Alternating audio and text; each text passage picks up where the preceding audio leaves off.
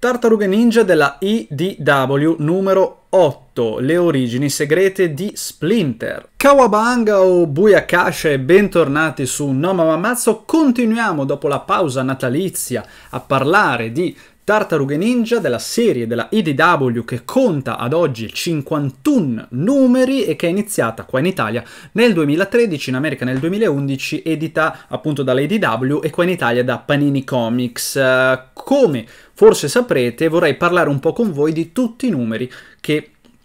ci sono stati finora in attesa della pubblicazione regolare bimestrale della, dell'uscita che potete trovare adesso non più in edicola ma in fumetteria e nelle librerie dedicate. Prima di cominciare, se ancora non lo avete fatto, vi chiedo di iscrivervi al mio canale, di mettere un bel mi piace a questo video e anche a tutti gli altri che vi frega, di condividere il video con tutte le persone che amano le tartarughe ninja, di commentare qui sotto con qual è la vostra tartaruga ninja preferita e vi ricordo anche che qua sotto in descrizione, aprite sempre la descrizione, trovate eh, i miei link agli altri miei social. Devo dire che quando ho letto questo titolo, Le origini segrete di Splinter, eh, non capivo cosa potessero dirci di più che non avevamo già eh, visto negli altri numeri. Abbiamo già visto che in questa nuova eh, incarnazione delle tartarughe ninja. Splinter eh, è un ratto e non è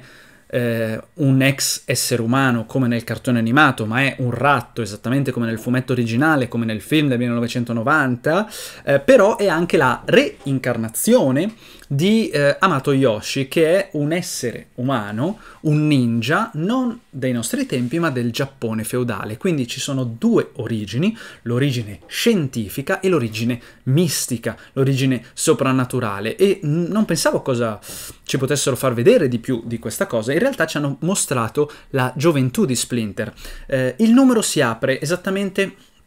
con il cliffhanger eh, in cui ci eravamo lasciati nel numero 7, ovvero Splinter che è stato catturato, niente poco di meno che dal clan del piede, con un redivivo Oroku Saki di cui non sappiamo ancora per quale motivo sia vivo, dato che anche Oroku Saki è un ninja del Giappone feudale, con una Oroku Karai che nella storia originale è la figlia di Oroku Saki, personaggio che non abbiamo mai visto né nel film del 90 né nei cartoni dell'87, l'abbiamo recuperata eh, con le altre serie,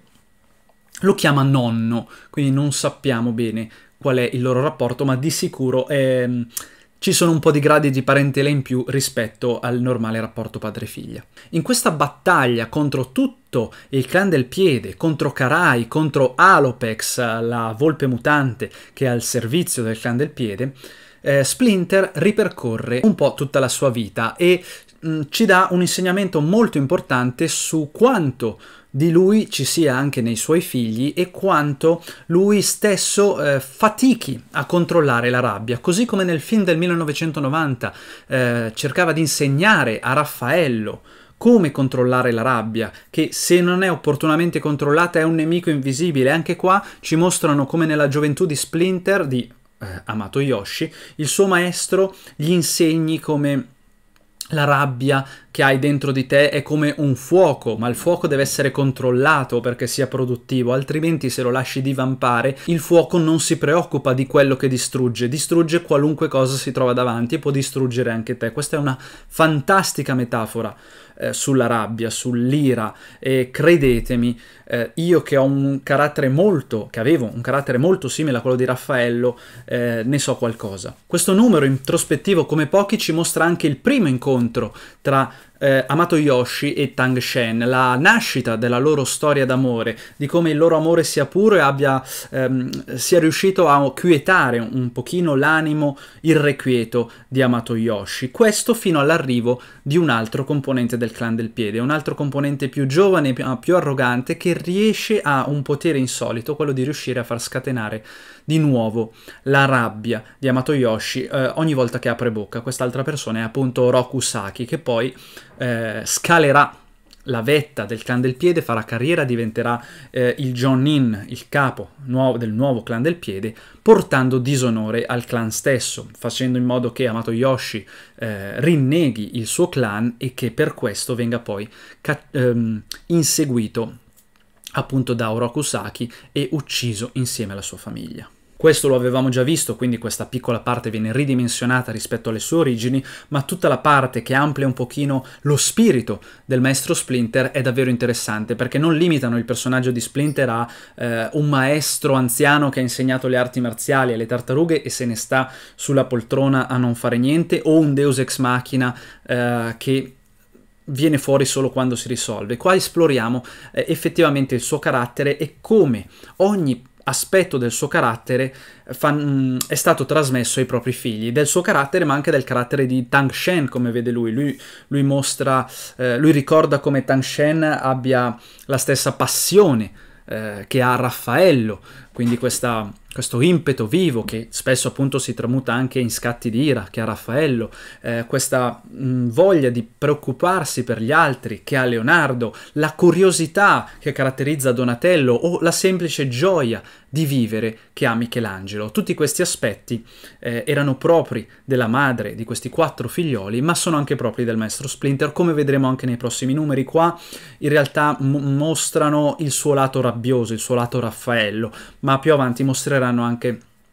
che il maestro Splinter racchiude anche un po' tutti gli altri tre caratteri principali delle tartarughe ninja. Questa è la prima delle due parti di questo fumetto, ma nella seconda parte si continua subito in pompa magna con questo combattimento tra Splinter e il clan del piede, nel frattempo però ci mostrano anche cosa stanno facendo le tartarughe ninja. Le, le tartarughe ninja sono al negozio delle seconde occasioni, il negozio dei genitori di April O'Neil con Casey Jones, anzi Casey Jones è prima con April e poi arriva al negozio, e fanno il primo primo incontro con Angel, un altro personaggio, amica di Casey Jones, un altro personaggio che non c'era né nel film del, nove, del 1990 né nella serie a cartoni animati dell'87, ma è comunque un personaggio, eh, se non sbaglio, comunque della serie originale che è apparso per la prima volta nella serie del 2002 personaggio molto interessante che non è puramente un incontro casuale, ma si rivela molto utile per il combattere il clan del piede. Angel conferma alle tartarughe ninja che stanno girando brutti ceffi, altri mutanti, altri ninja nel suo territorio e gli conferma conferma alle tartarughe che sono il clan del piede. Questa conferma fa in un certo senso scusare Donatello che nei numeri precedenti non credeva al fatto che a Leonardo che credeva che appunto eh, eh, questi ninja erano del clan del piede solo perché Splinter eh, ne aveva riconosciuto lo stile, aveva una sensazione. Donatello ha bisogno di prove, Donatello è lo scienziato e qua si scusa con Leonardo che però mh, mm, risponde a Donatello avevi ragione nel, mh, mm, nell'esprimere le tue obiezioni perché tu non avevi prove, non ti devi scusare. Questo riappacificamento tra i due fratelli è una delle cose, una delle cose più belle